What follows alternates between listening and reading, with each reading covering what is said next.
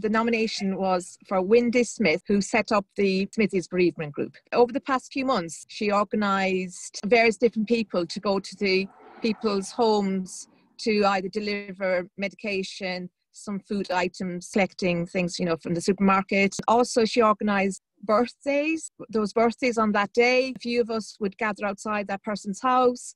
We'd sing happy birthday to the person on the doorstep and light a little cupcake. That was their little um, birthday cake. And also the presents would be given. And usually those those people would be shielding because they were vulnerable people.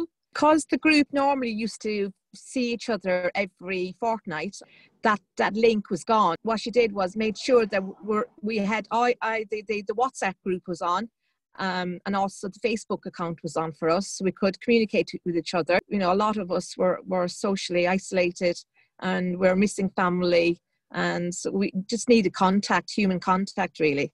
But she's constantly thinking of others. She's just very warm-hearted. She just wants everyone to feel that they're not on their own